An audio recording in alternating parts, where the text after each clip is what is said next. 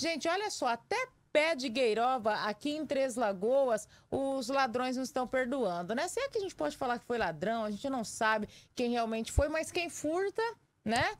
É, enfim, pode ser uma bala, pode ser qualquer coisa, é furto, né, gente? Você pegar o que não é teu, você furtou, né? E desta vez, gente, um pé de gueiroba localizado na Avenida Antônio Trajano, ali na, no bairro Jardim Morumbi, também foi alvo aí, viu, dos, não sei se ladrões ou ladrão, enfim, o fato é que roubaram a gueiroba lá do local, furtaram, na verdade, né? Porque não foi roubo, não teve emprego de arma.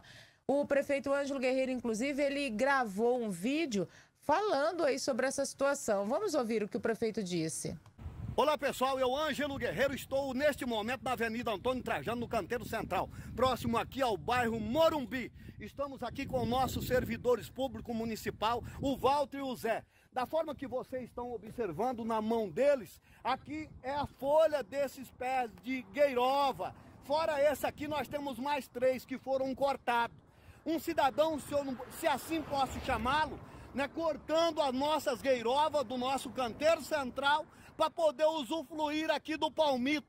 E eu quero deixar aqui registrado a minha indignação porque a partir do momento, família Três Lagoas, que nós observarmos, se vocês observarem qualquer suspeito nesse sentido, pois denuncie, porque um caboclo como esse, que aqui nós podemos falar, tem que ser preso, responder por crime ambiental, porque é inadmissível. A nossa Secretaria do Meio Ambiente vem trabalhando incansavelmente para poder proporcionar plantio de árvores, queirova, palmitos, Palmeiras e aqui quando nós deparamos com a situação como essa. Deixo esse registro de indignação, pois compartilhe esse vídeo. Se vocês observarem qualquer algo nesse sentido, pois denuncie. Um abraço a todos, meu muito obrigado.